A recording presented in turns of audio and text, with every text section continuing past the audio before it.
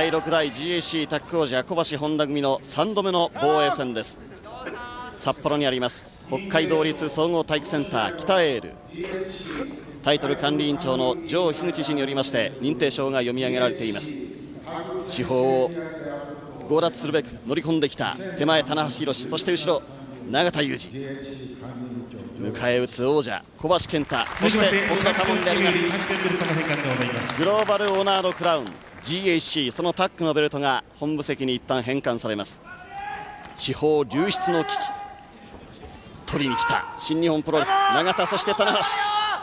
60分の一本勝負。司法を守れるか？本日のメインイベント GHC タッグ選手権フィア60分一本勝負を行います。ラウンドが挑戦者チーム240ポン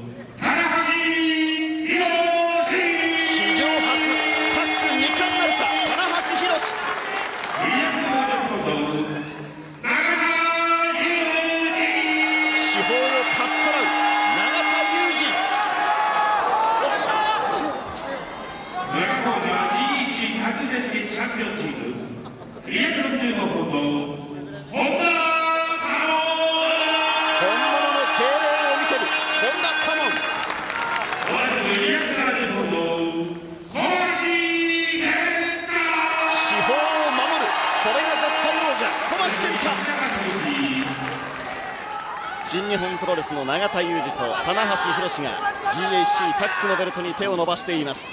第6代 GAC タッグ王者小橋本田組3度目の防衛戦。司法流出の危機を迎えました。現 IWGP 第44代のタッグ王者でもある棚橋宏。さあそして本田多門。回転地獄五輪を返す。そう語っていた永田。今度こそ負けられない一戦。迎え撃つ小橋健太。さあ先発は本田が前に出ようとしています。赤コーナー王者チームは本田。そして棚橋だ。初参戦の棚橋宏先発。本田と棚橋で GAC タッグそのタイトルマッチのゴングを聞きました。60分の一本勝負。GAC タッグ防衛なるか。司法を流出させるか棚橋。初めてアマレスの神様と会いました。10種類の回転地獄五輪を武器に新日本を迎え撃つ本田多門です。さあそれでは放送席解説をご紹介いたしましょう。この放送の解説は大晦日ミルコ戦が控えている高山義弘さんです。よろしくお願いいたします、はい、高山さん。ややっと俺を紹介してくれたね。なかなか俺の名前言ってくんないからもうずっと無視されるのかと思って。いえいえ満を持してご紹介させていただきます。ミルコ戦が控えていますが、どんなお気持ちですか？いやもう至って普通だね。今の時点では、プロレスファンはですねプロレスラーの強さを見せてほしい。そう願っていますよ、いやもちろん。それは俺も思ってるよ。ええ。そのミルコ戦に高山さん、まあ、参戦するわけですけどもその高山さんの評価を上げた一つにあらゆる団体での活躍というのがありました、はいはいはい高山さんから見てこの新日本の永田棚橋組どう見ますか？うーんこの2人は普段タッグ組んでないんだけど、はい。あのー特に棚橋がね、え最近すごい勢いがあるんでね、えはい。うん、これはなんかちょっと楽しみだなっていうのがあります勢いですか？どんなところにこの棚橋の勢いを感じますか、なんかね、ええ。この夏から秋にかけてはねすごいあいつはね今まで今ちょっと前まではただの優等生で、はい。悪くないんだけどねっていう感じだったのだけどそのその中にまだなんか強さっていうのがね、はい。出てきたような気がするそうですか、まあ、現第44代の IWGP タッグ王者でもありますし、30歳以下のアンダーサーティの初代王者でもあります。投げ返していきました棚橋宏ですアマレスの経験がある棚橋そして言わずと知れた本田多門。3大会連続オリンピック出場があります。アマレスの神様とまで言われている本田。その本田とグラウンドを展開しました。この棚橋が今日この試合に勝ちますと史上初となります GAC と IWGP のタッグこの2冠に輝くということであります。少し前まで2冠王者であった高山さん2冠という響きなかなか魅力的ですよね。大したもんじゃないよ。そうでしたか、何か責任も2倍ですが、栄光と言いますか、注目度も2倍になりますよね。ああ忙しいだけでいいことないよ。そうですか。2冠と言いますと現在その赤コーナーに控えている小橋もシングルとタッグの2冠王者であります。あとりあえず持ってるね。とりあえずですか？あ今棚橋から永田にタッチが交わされました。さあしかし永田はその本田を素通りいたしましてその対角線。小橋を指さしました。北エール北海道立総合体育センターのファンが小橋コール。さあそして小橋だ。9.12あの日本武道館以来の対戦となりますユージはあの背中どうしたんだあれ。あのーですね新日本プロレスの試合におきまして、棚橋選手と戦った時に、ジャーマンを受けた際に、棚橋選手の歯が背中に刺さったということがありまして。そうなの棚橋が刺したんだはい、歯が刺さったということですね。さあ追い込んだ、ね、コーナーに追い込んでの。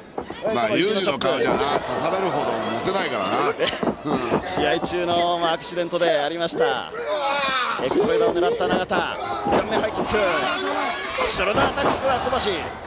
少し前のみの体勢。ここで一旦流れきました。あの9.12日本武道館。小橋の GAC シングルに挑戦いたしました。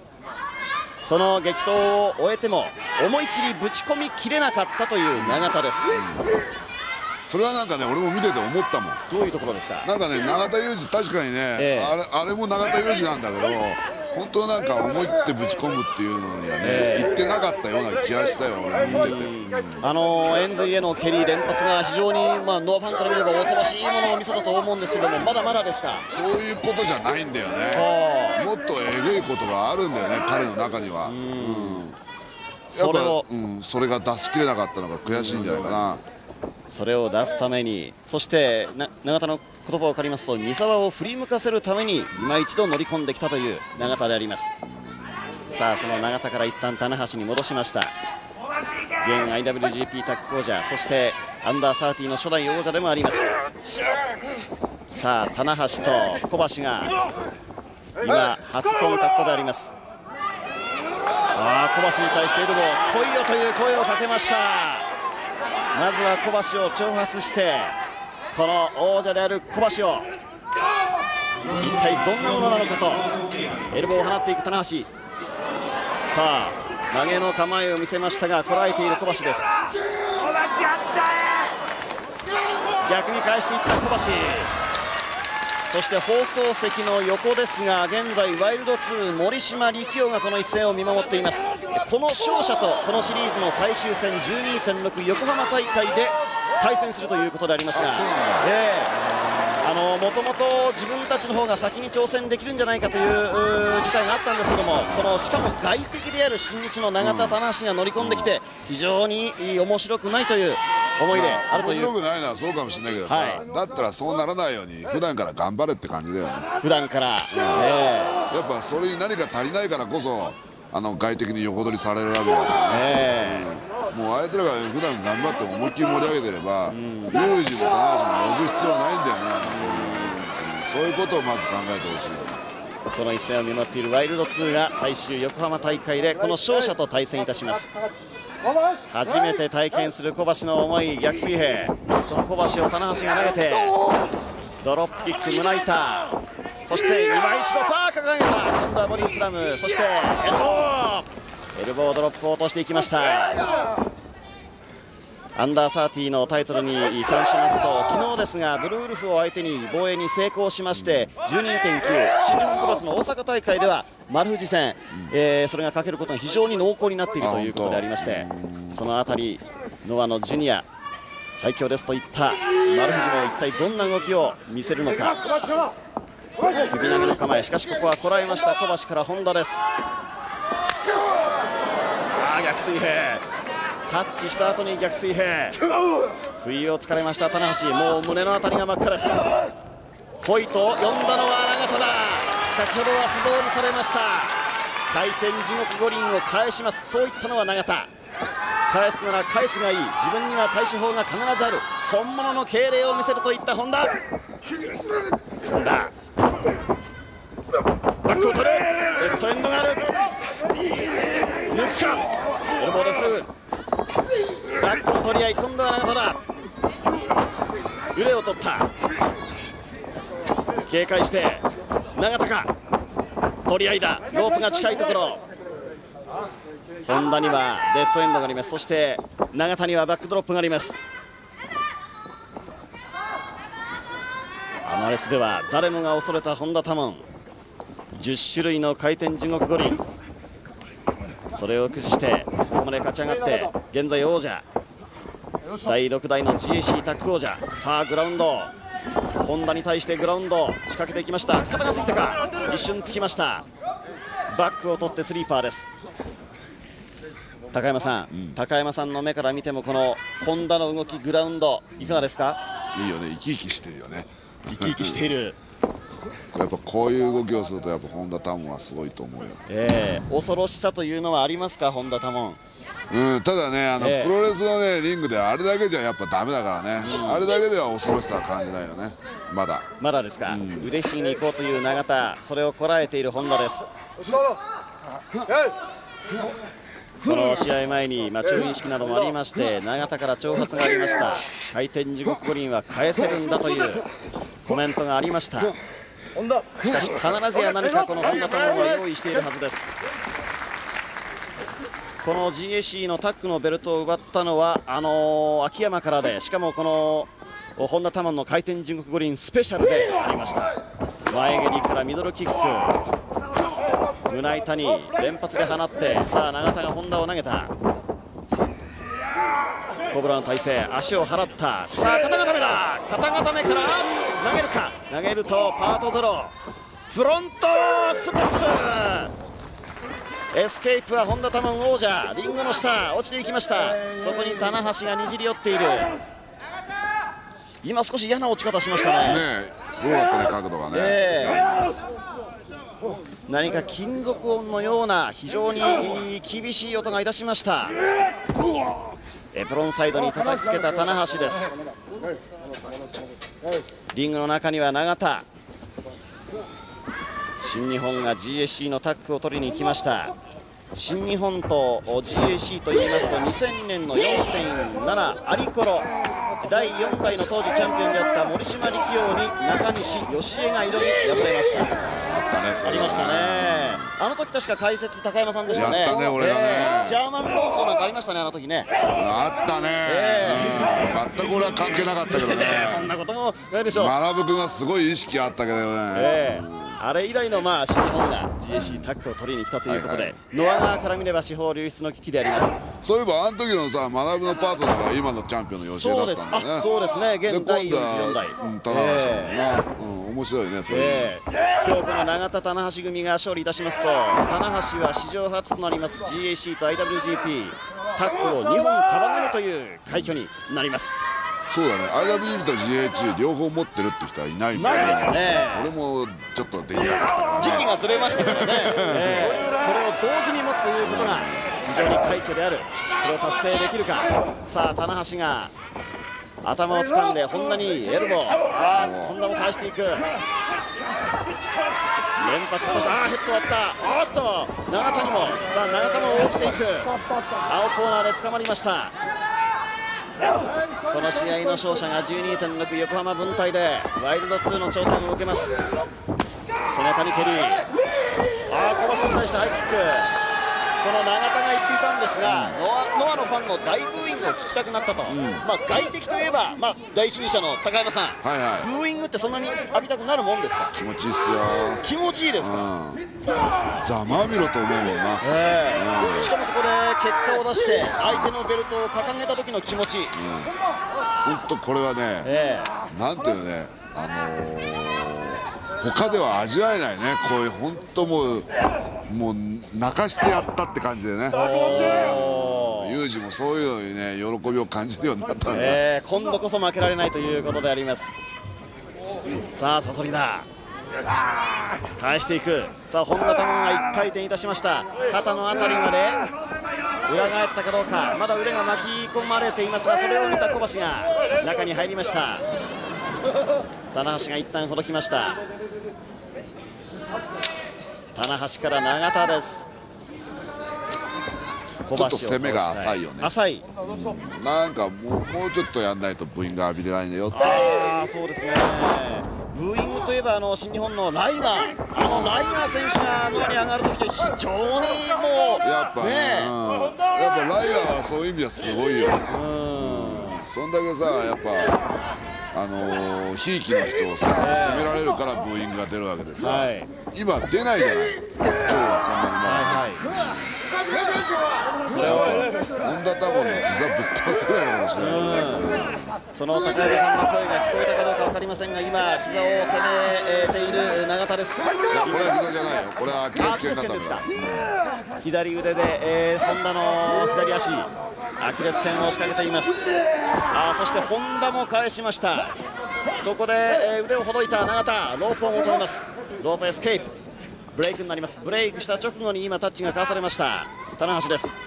この棚橋がこの GAC に乗り込んでくる、まあ、一つのきっかけが新日本プロレスの藤波拓社長が引退するということに関してそれを阻止したい振り向かせたい、まあ、発言力を得たいということでしょうがそんな思いが最初あったようです。ダンスのちょっと論点がずれてるよな。ずれている、うん、あんま関係ねえじゃん藤波さんの引退なまあ箔と言いますか格をつけて、うん、まあ GAC のベルトを持ち帰りたいという思いでしょう。さあ小橋が割って入っています。これでもう2人がかり小橋を壊せないかね、えー、さあ小橋が入っているが投げられた。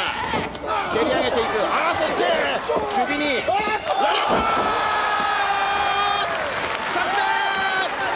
そしてタモンが嗅覚ださらには試合の権利がない小橋が今永田を落とします。エプロンサイドから蹴り落とした。本田タモン足を気にしながらもチャンピオンチームチャンスを迎えています。首に手下げに棚橋そして永田はラリアットで今リングの下です。ん？小橋がリングを回ってきました。そしてフロントサイドから手を伸ばして場外です。場外で棚橋を傑作攻撃。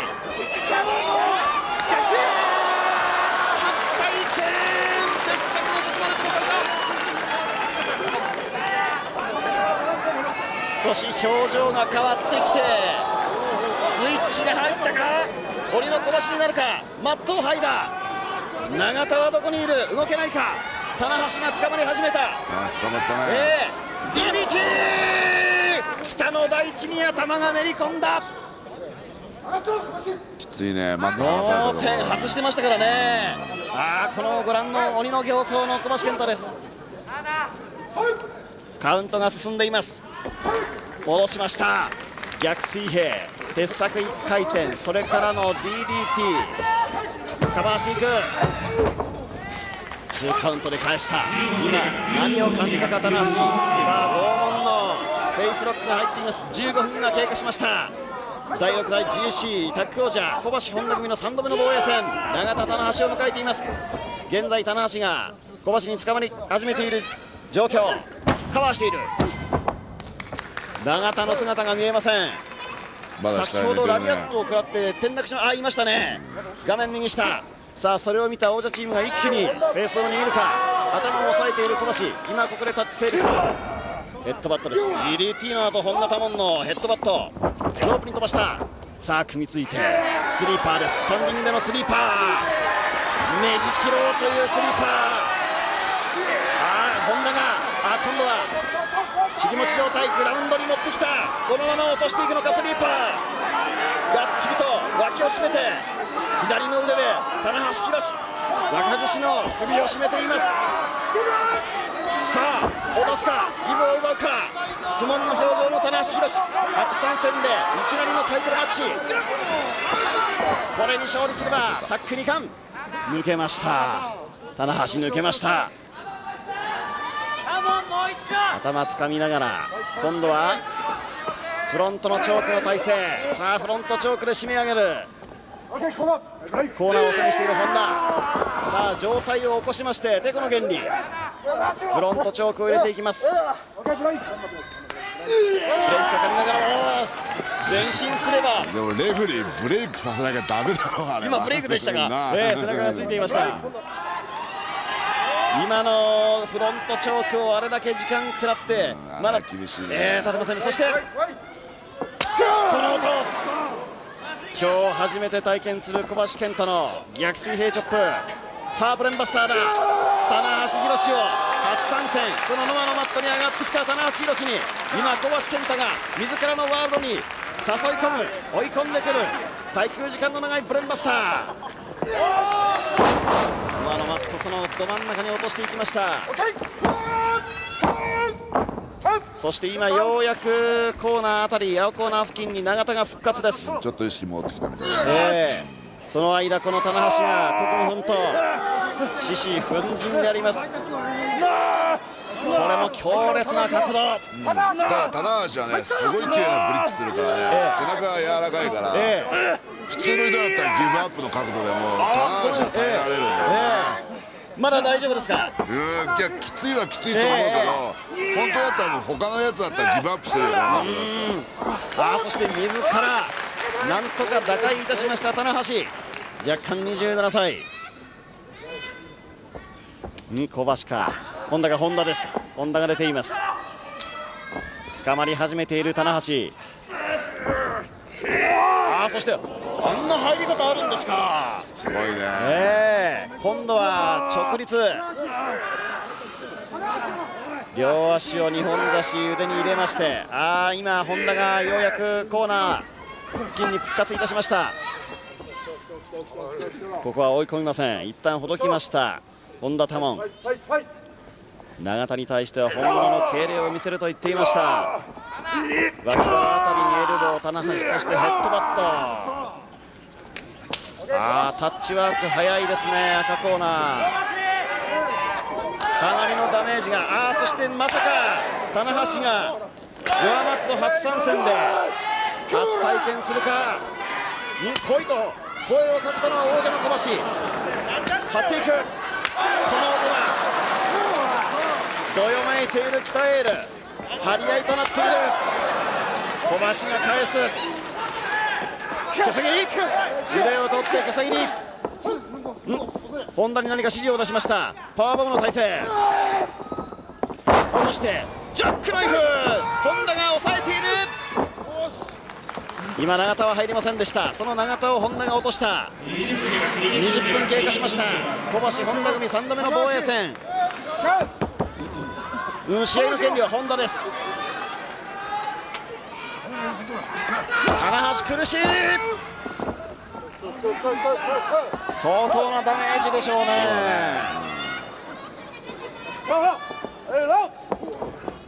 金橋振り返す。巻き上げるか。取り合いだ。腕の取り合い。ああしかしここは本田サイドから腕を回して。コブラの体勢。さあ裏の肩固め裏肩固め。永田来た。永田が来た。顔面ハイキック。バックドロップあーしかし覚醒したか。ドラゴンスクリュードラゴンまず一発目。膝左膝。本田が苦しい。小橋が入っている。ロープ飛んで。ドロップキックで迎撃。ここでようやく永田が手を伸ばした。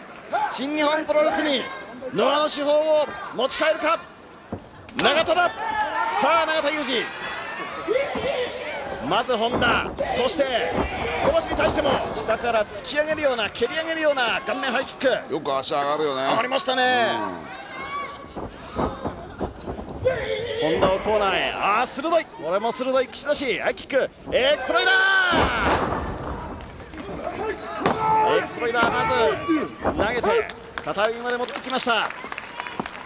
試合途中ラリアットで一時失神したかもしれません。気が遠のいたかもしれません。しかしようやく戻ってきましてこんなところ打撃戦。膝。やはり狙われるこの膝。先ほど棚橋のドラゴンスクリュー。そしてああ厳しいそして決めるか。敬礼だ。これが俺の敬礼だ。永田ロック持ってきた。リングの中央。永田ロック。ワン。小橋がにじり寄っている。膝を壊しに来た。正面から。これでもカトカットに入る。すごいカットだよね、レフリー止めろって感じで一回蹴ったら。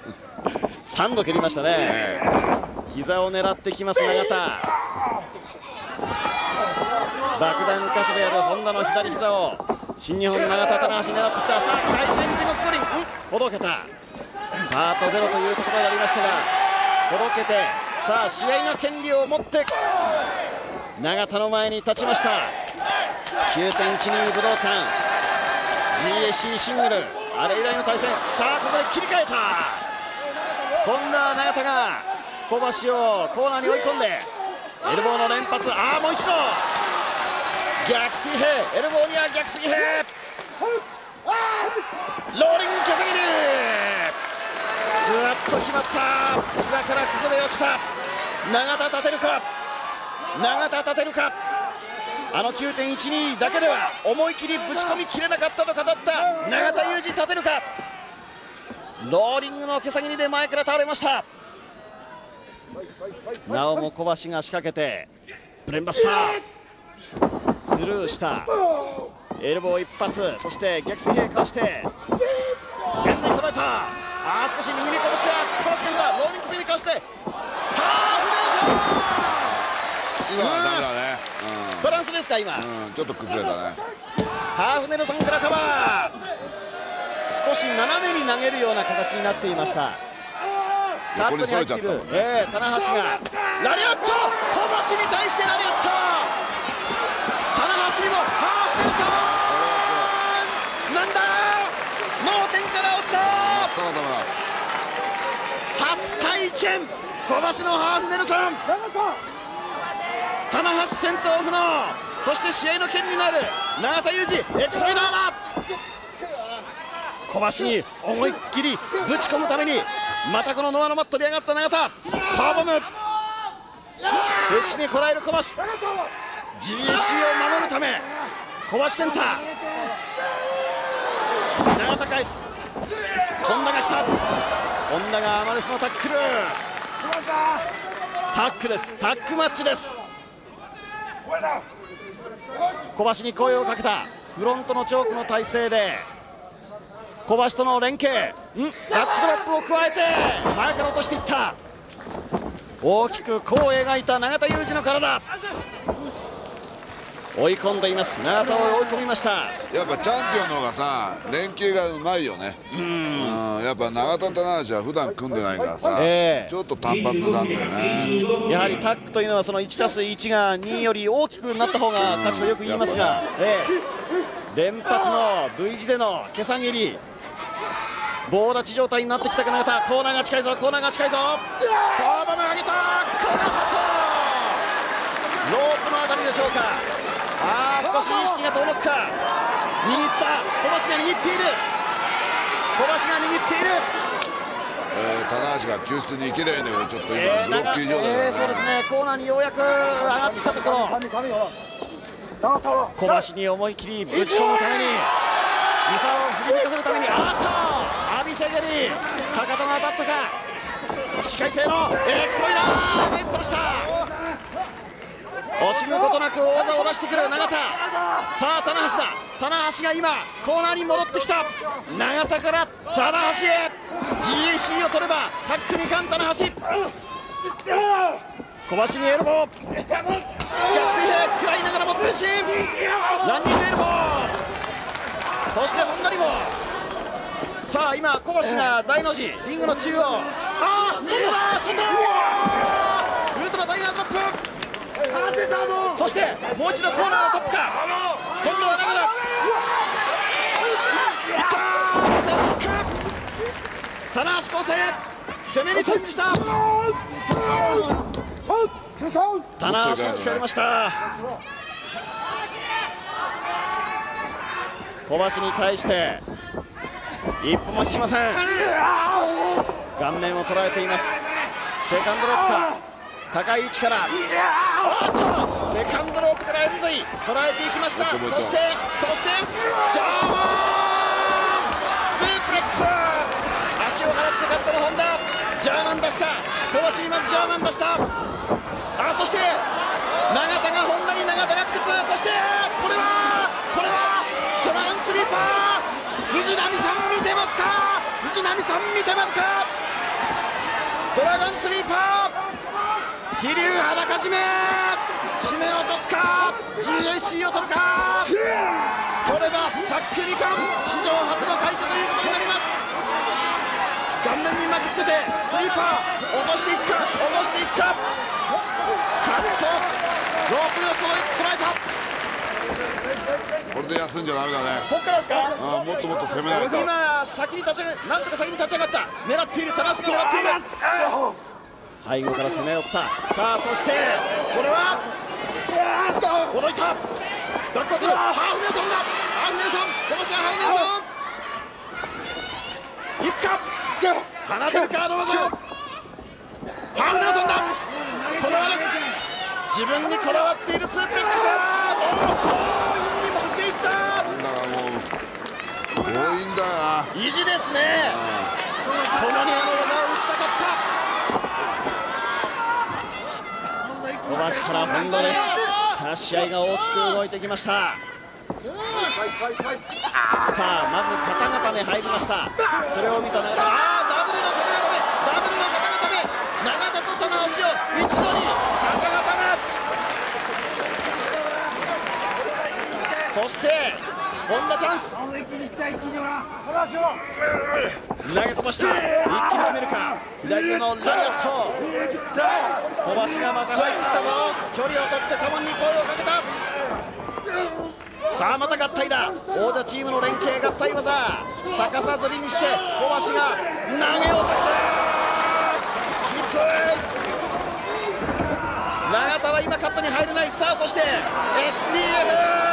ステップオーバートホールドウィズフェイスロックさらに腕を取りましてこれがかかるとタモンズシューター完成。完璧。タモンズシューター腕を捉えている。さあそして肩固めが、うん、肩固め入っている。入っている。入っている。肩固め長田間に合った。長田間に合った。STF タモンズシューター肩固め流れるような攻撃のレパートリー出していきました本田タモンフラッグしたいな棚橋おっと来た顔面捉えました。棚橋から永田30分を超える激闘となりました。顔面ハイキック。小橋音楽に3度目の防衛になるか。新日本から永田と棚橋が乗り込んできた的確に捉えている。しかし自らを張りまして気合を入れ直した。エルボー合戦打撃気持ちが伝わる。エルボそして終わるか終わるか。ち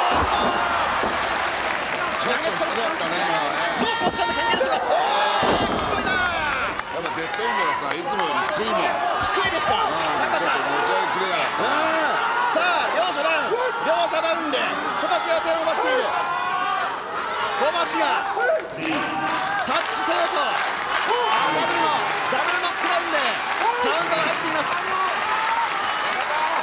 全カウントで KO ということになってしまいますが立ち上がる。立ち上がる。プロレスラーは立ち上がる。さあ肩固めからこだわる後ろから行きました腕を取る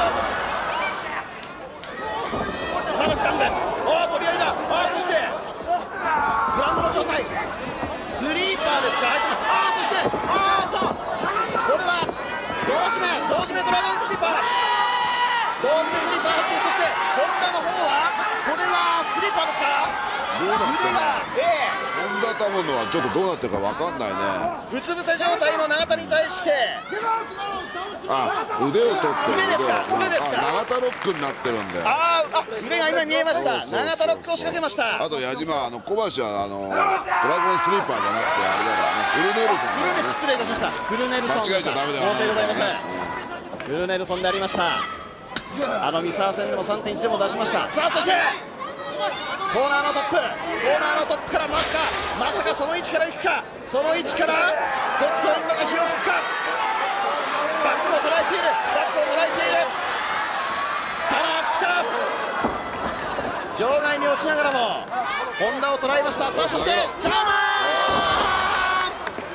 本田にジャーマン。距離ができた。スピードに乗ってあーこれはすごい飛び膝経験者は勝てない高山さんがそう言いましたその膝が命中小橋のカットでなんとかなる流れた GAC タックル輸出のピンチを迎えました小橋が下です小橋はリングの下本田が捕まった前と後ろから蹴りをもらってバックドロップ危ない GAC タック演出のピンチ四方を守れるか。小橋本田。狙っている。本田が狙っている。狙っている。構えた。構えた。距離を測った。蹴りは防いだ。さあそして腕を取って。一瞬の隙をついた。返す。永田が返した。まず永田が返した。右ハイ。後頭部を捉えて。そしてバックに回った。バックの嗅覚だ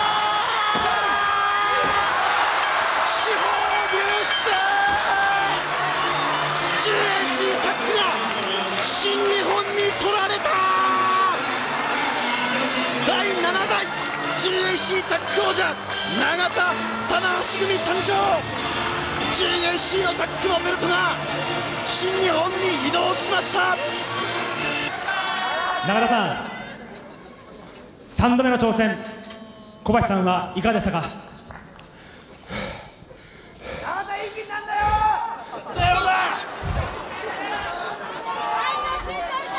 いやもう今はもうとにかく嬉しいです小橋組を破って勝って嬉しいです、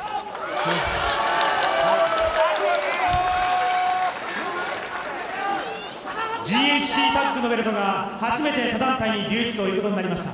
GHC のベルトを今肩にかけてどんな心境どんどのようにお感じですか？そうそうこれからそういうなんかなんか勝ったあの気持ちが込み上がってくると思うんで、はい、いやもうその気持ちが盛り上がるままに大きな目標を立ててやりたいと思います。俺はやると言ったら絶対にやる。高山プロレス界を面白くするのはなお前だけじゃねえぞ。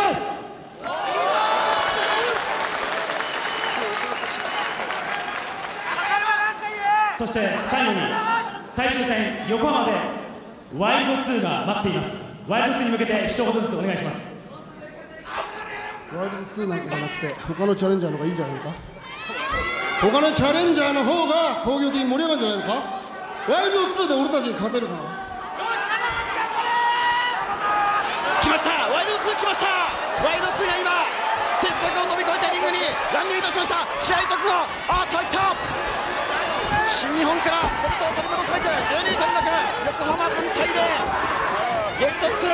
さあ挑発を受けて今ワイルド2森島力夫が乗り込んでまいりました。あーしかしそれを受けて立つという永田棚久の表情。最終戦12.6横浜分隊。この森島力夫が新日本から GSC タックのベルトを取り戻せるか。睨み合う力夫そして永田。マイクを持った。横浜でよベルトやかけんのかかけねえのかどっちなんだよ。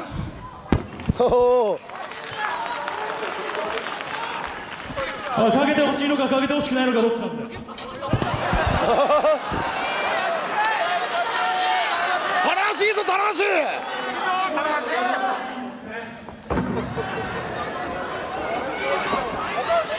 今度はっている永田と力夫さあ張った。